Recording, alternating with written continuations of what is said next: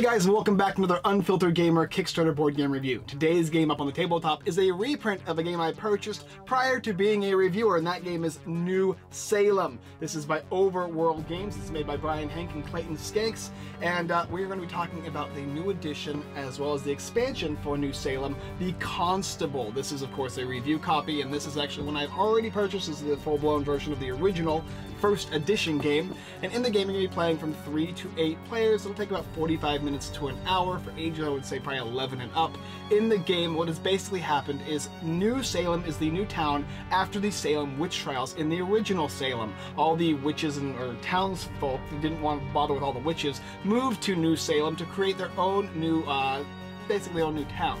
However, witches may have infested the town along with them. You don't necessarily know if there are or are not witches, but you're going to need to build the town. And the players are going to be doing a drafting set of cards in their hand. They'll be collecting different locations like taverns and jail and market, black market, and all that other good stuff to build. You can choose what you want to build. Basically, you'll get a hand of cards, you'll choose one, you'll pass, and then you'll pass that along so you get to know what your neighbors can choose to build and not.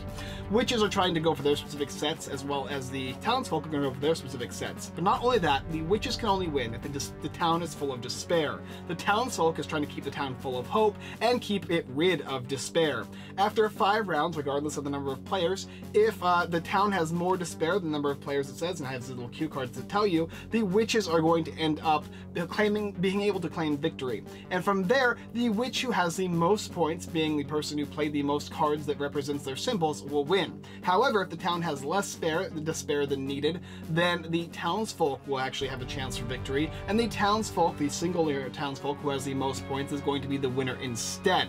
Alright, that's the basic idea of the game. Let's go ahead and show you down below the new expansion as well as the basic content of the game if you haven't seen the original version. So here is New Salem and the Constable expansion included. On the side over here are all the base game stuff, so you'll basically see that there's buildings, about two times as many buildings in the base game. You got your character cards, your round tokens, and then your four different abilities, whether it's putting somebody on trial, pardoning them, uh, Confession, which is uh, viewing players' character cards, and Cleansing, which removes despair from the town. These are the only action cards you're going to be getting in the base game, along with the characters and, of course, the buildings. But in this new game over here, you're going to see a lot more stuff. Now, first of all, as you can see, the characters from the previous game are still here, as well as all of the different unique uh, towns cards, and they have actually some new ones, some new and interesting ones, like the cemetery one, as well as the black version, which is like the jail.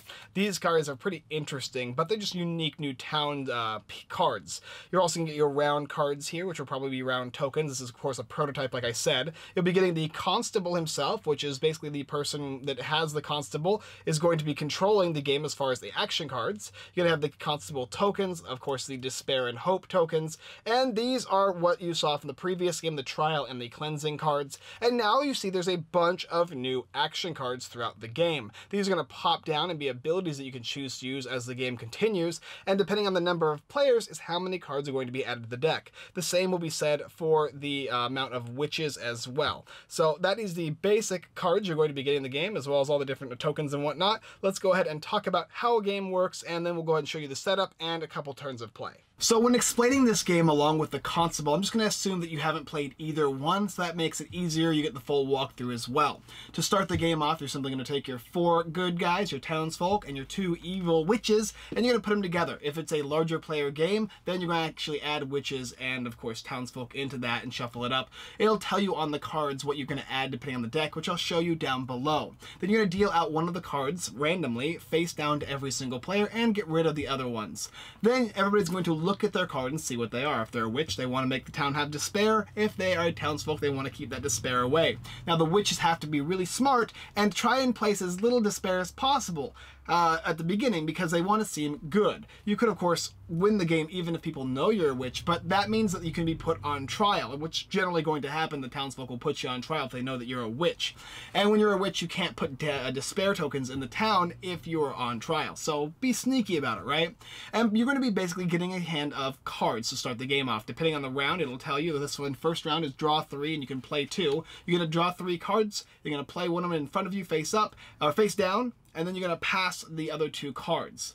After everybody has done that, you're going to flip over those cards and enact whatever it says. Sometimes it'll do nothing, sometimes it will get rid of despair, sometimes it will give you hope, and sometimes it will put despair in the town. Then, after you've all done that, you're going to look at the rest of your cards and continue the process. When you get down to the last two cards in your hand, you'll have an option to either pick one of them or pick neither of them and simply put them on the bottom of the deck and draw a new card at random and play that one. It's risky and random, but it might come in handy if you're a townsfolk with despair in your hand or if you're a witch with no despair and you can justify why you got a despair because now you've accidentally placed it from random top of the deck. Then after that has been secured, you're going to do the constable phase where you're going to put down an event uh, for the round. You're going to then let the choose a constable to start the game off, depending on, I don't know, the last person who saw maybe the Salem Witch movie. And that player is going to then be able to decide whether they want to buy or purchase an action card or event card.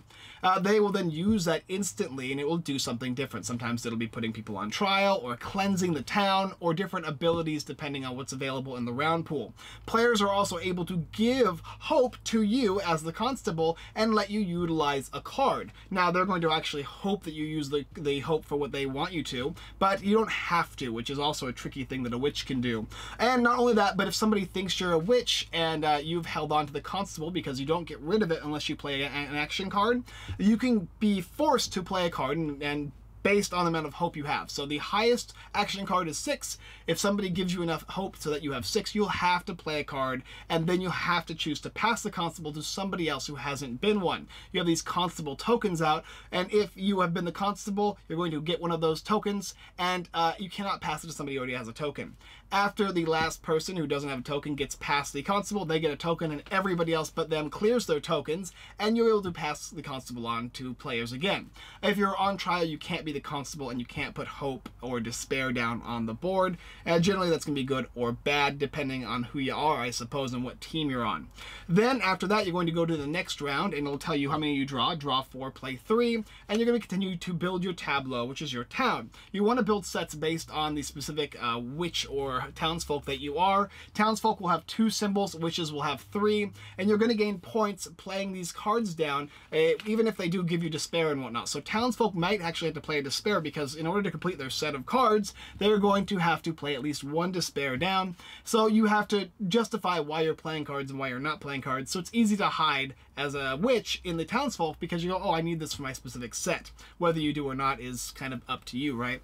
You'll play out throughout all five rounds, and at the end of the fifth round, if there is more despair on the track than is needed, then the witches will have the chance to win. If there is less despair, then the townsfolk will have the chance to win. You're going to tally up all the points in front of you based on the matching symbols for your uh, tableau and add those all up and add all the points you have and whoever has the most points is going to win on either side. There's only one victor but it is a team game at the same time. Anyway that's the basic idea for the game. I'll come down and show you how a little setup works as well as how a four player game for the first couple rounds will function and then we'll talk about it.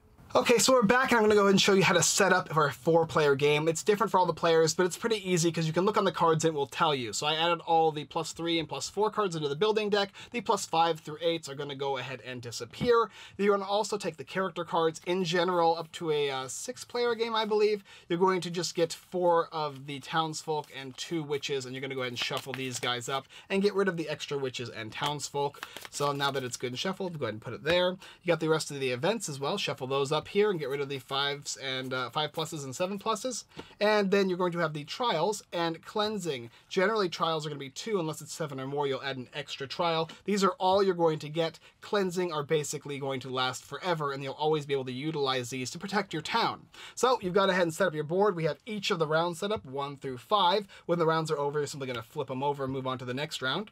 And you have your constable tokens and your hope and despair ready to go. Take this and shuffle it up really good. Make sure that you uh, don't know what everything is, and pass everybody who's playing a uh, character card. So I'll go ahead and move this out of the way. Here we got three players right now. And uh, then you're going to choose somebody to be the constable. Maybe it'll be this player for some reason. You'll get rid of these two cards here. You don't know if they're witches. There could be both witches in here, or they could be both townsfolk. It could be a 2v2 game. After that is all set up, then you're going to begin the round phase by dealing out everybody three cards. It tells you on round one how many you deal out. Three, and then play two. So take the top cards of the deck and deal them out. One and two, and then three. Everybody's got their three cards. And now you're going to go into a drafting phase. Now, I'm going to go ahead and show you what everybody is just so you get an idea of how it plays, but normally you're not going to get to know this information. It's hidden information. But I think for the purposes of this game, it's important. So right now we know that there's one witch and that there's three townsfolk, and these are their symbols. This guy's got a juggler, and this guy's got a book. This is a book and a sun, a sun and two people, and this has three. The witches always have more tokens or symbols, so they always have the benefit of gaining more points throughout the game. Um, and everybody's going to look at their hands. And as you can see in this one, this is the bank. It's got a uh, hope on it. And then these are the two symbols here. On this one here, it's just a juggler. And then this one here, it has a despair, which is going to go on it if it gets played. But it also has a book. Well, he actually needs either this one or uh, this one here. Both of them are going to give him points because they have the same symbols that he needs. But this one here will give hope, even though it's not his color. So he's probably going to pick the tavern here because it's going to give him uh, at least points. And everybody else is going to do the same thing. The witch is going to try and do something interesting. Maybe he'll play this one here. And um, then you're going to just be passing these along to the next players. This guy here, he's got a sun and people. So he's got the black market. Uh, and these ones don't do anything for him. So maybe he wants to play this one, even though it gives a despair to the town. And uh, then the then this is going to be passed. And then this player over here, he's got... Ooh, he's got a juggler, and, and that's not useful. Mm, so we'll go ahead and play this one. Even though it doesn't help, it will actually give us hope. And this will go over here. So now everybody has their hands passed, and then it's going to go on once again. In this phase, there's only two cards, so you can choose to take either one of these, and both of these aren't really useful for him. So he could choose to go ahead and discard both of them and play a one at random.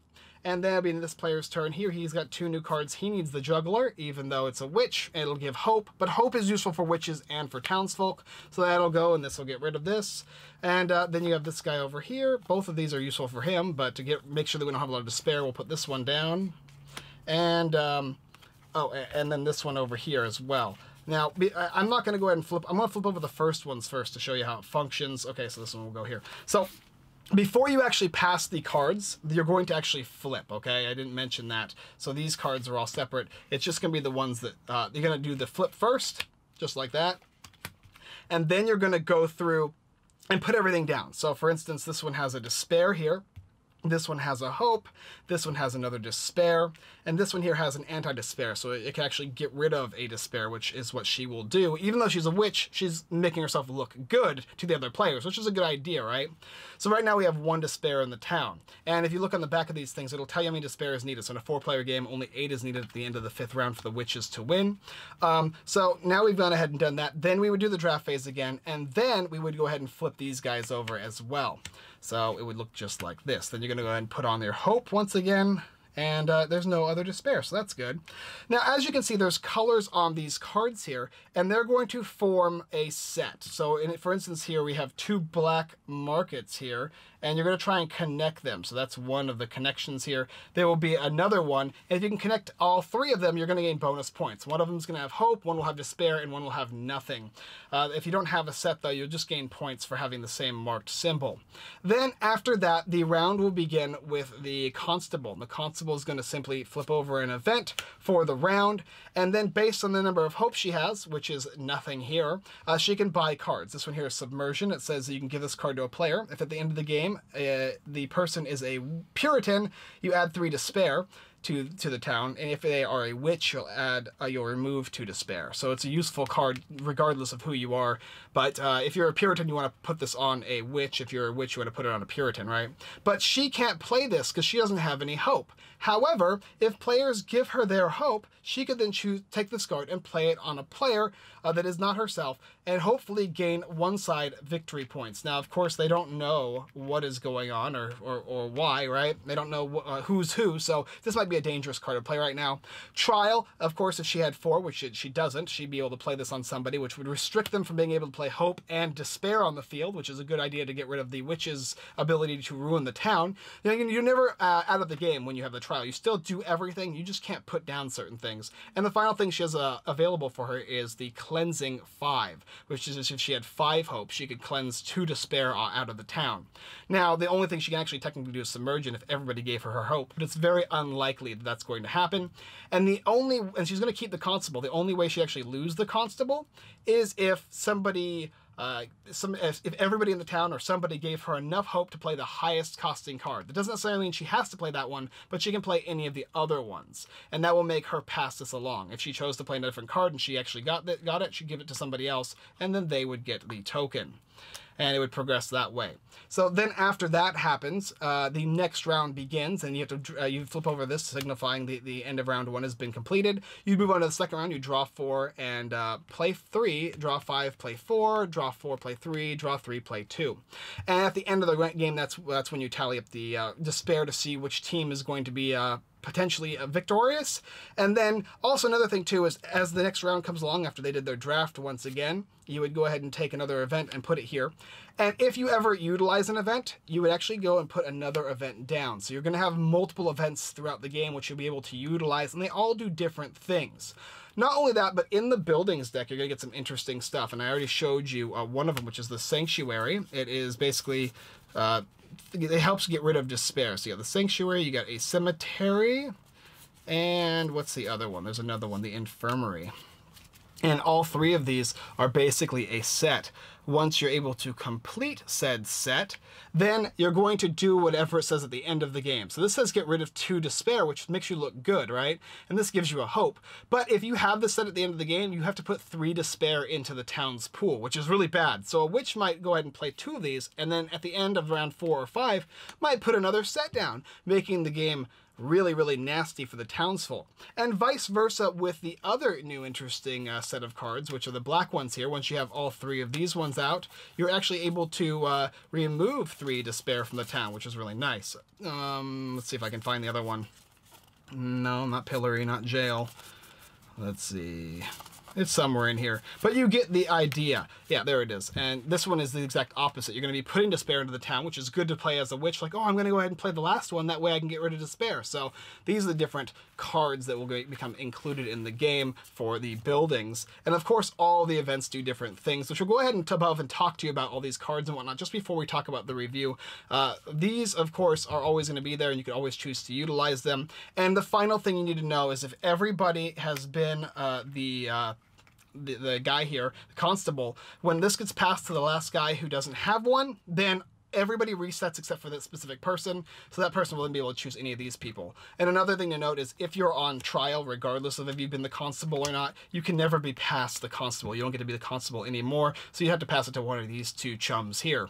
And that's the basic idea of the game, scoring points based on how many sets you have, as well as if you have the right symbols on your card, and any cards that might give your team points at the end of the game as well. All right, let's come up and talk about the constable and some of the new cards, and then what I think about the game and its expansion. Okay, some caveats and then the cards from the game. The first caveat is when you pass the constable, you actually give a play the player who gets it a hope. And hope is the currency, which I said before you can pass around to players if you want to, specifically the constable, so that way that they can play cards to hopefully benefit your side. Nobody knows who anybody is, not even the witches. Most games you close your eyes and, and you know the witches will open their eyes. Not in this game. You could be hurting your fellow comrades or helping them. It's it's really blind. You're gonna have to just kind of not guess, but utilize what you know about the game to determine who's good and who's bad. All right, let's talk about some of the cards here, like Ritual. Choose two buildings owned by any two players and switch those buildings. A Pardon for five, give it to any player. If that player is on trial, discard their trial card. As long as they have Pardon, they might not may not be put on trial. This is from the original base game, but it has a new effect of giving it to somebody. Prayer, choose an event that was revealed during a round, play it on the bottom of the, place it on the bottom of the uh, event deck, and draw an event to replace it, and you remain the constable. The Coercion card, take a building from any player. That player chooses a different building to take from you. Rebirth, shuffle your character card into the unused character cards and deal yourself a new one. This card is worth two points. So you might change your stripes halfway through the game. Hysteria, look at all the of the unused character cards, and that will be for two. That's pretty useful actually, get to know uh, basically how many witches are going to be in the game. And pleading, show your character card to another player, you remain the constable. You get the idea, there's more of them though. And of course, in the expansion, you get the constable, you get the event, extra events, and you get a couple new locations. And there's, a, I believe, a deluxe edition that comes with a mat. We actually played this live with the creator, uh, Henk, so if you want to go ahead and check out the entire live play, you can do that on our Facebook page. Uh, it was a it was a lot of fun, so there you go. Um, so anyway, what do I think about the game? Well, as I said before, it was a lot of fun playing the game, but uh, what do I personally think? Well, I'm going to jump jump out and play this game specifically. This is a trader game, but it's also a team game and it's also an individual game, which means it's going to be a niche because you're working together to a point. And even if you know who the witches are and they are on trial, you can still lose the game because people can be greedy. Greed is the most dangerous thing in this game. If you are trying to get as many points as you can, you're going to be making your town suffer because you're not helping them. You're also going to be uh, de a detriment, right? And your team, your side may not win, which will give you no potential of winning. And not only that, but greed is important to know about, but also working together as a team is is a good and a bad thing as well, because there's always somebody who's going to be slightly more greedier than you are, which kind of forces you to be it forces that craziness to happen throughout the game. Witches are going to be minimal in the game, and there might not even be witches, but if there are, witches have a higher likelihood of winning the game due to the fact that they have more of the available points to get, and the fact that players that are good guys will be greedy, and witches who are bad guys will simply play the cards they need to to, to play. And you're never really going to know who's good or bad. Some people are going to be able to look at certain players' cards and whatnot, and that will give you certain indications. When players play down the certain sets for the locations, you may figure it out. Um, I like this game a lot. Okay, with a caveat at, I can see why some people wouldn't like it though, and that is due to the fact that you're playing as a team and as your own individual person, so you kind of want the team to win, but not as much as you want yourself to win, and that can kind of drive people nuts. Do you want to be the sacrificial lamb in this game, which could happen? You might be trying to help your team so much that you gain no points and somebody else wins, or do you want to be the super greedy person where everybody else makes it so that you're the person who wins? Uh, it, it, it's one of those juggling things where you have to kind of control the game just enough to where the witches don't win, and yet you still score enough points uh, to beat everybody else. And of course, the witches, their goal is to sneakily start playing things to slowly increase the amount of despair. They've got the cards they can utilize as a constable, which is very, very powerful. And the fact that the witches are able to put other people on trial, regardless of whether they're witches or not. When you put people on trial, too, which is interesting, at the end of the game, if you put a witch on trial, that's minus two despair. And if you put a Puritan on trial, that's plus two to spare. So putting people on trial can be a good and a bad thing for your team, depending on what occurs. The game is only going to be the same amount of time really between all five rounds. It can be more players, which take a little longer, but for the most part, the time remains steady, and that's awesome. The artwork is really nice. It reminds me of the Barker's Row game, same artist, I believe, and that was, I love the game. I love the style of that game. This one has that same artwork style. If you like trader deduction games, this one's probably something you should check out and determine for yourself if it's going to be something you're going to like. As long as you don't mind that individual aspect of the game, I think you're going to dig this one, especially because it's unique. I haven't seen any game where, where you work as a team uh, in that whole deduction aspect, and then you have to come out on top on your on your own, and that really makes it unique and different. I also think it increases the tension and increases the like frustration and fighting. If you have people that are fighting against in resistance, uh, this one's going to be even more so. So it depends on the group, of course. But if you're okay with that craziness and that interaction between people, like, no, why'd you do that? Why'd you do this? Or I was on your team. It's like I didn't know you were on my team because we don't know each other. You know. Then it gets really, really intense and really, really fun. And I think that's where it shines the most. Playing with a lot of players is even better, but it does play lower, which is good for a trader game because there's not a lot of games that do three or four players, and this one actually does that. Overall, though, I really enjoy this game. Do take it for what you will because I do enjoy trader games in general a whole bunch, but I like the unique aspect. For me, oh, I'm going to recommend you decide for yourself on this one. Does it sound interesting? Is it unique enough you want to pick up? The choice is up to you. The game is in the description below with the second edition. There's also the deluxe copy, and if you want, you can pick up the mat uh, if you already have the first edition of the game, which I do, and I personally had before I did any reviews and whatnot, uh, then you're probably going to want to get the deluxeified edition where you actually just get the constable and all the extra cards, and you can just put it in your first edition box. It's up to you really what you want to do, but there is those options, which is really, really nice. Anyway, that's all I got to say about the game New Salem with uh, the second edition and, of course, the constable. Go ahead and check it out if you're interested in picking it up.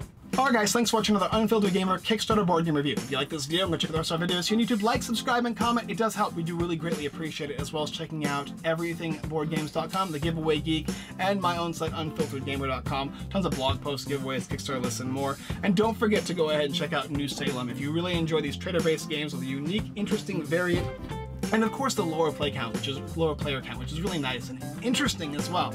Uh, do go ahead and do that. Alright guys, that's all I got for this time, and as always I look forward to deviously creating despair in the town with you next time.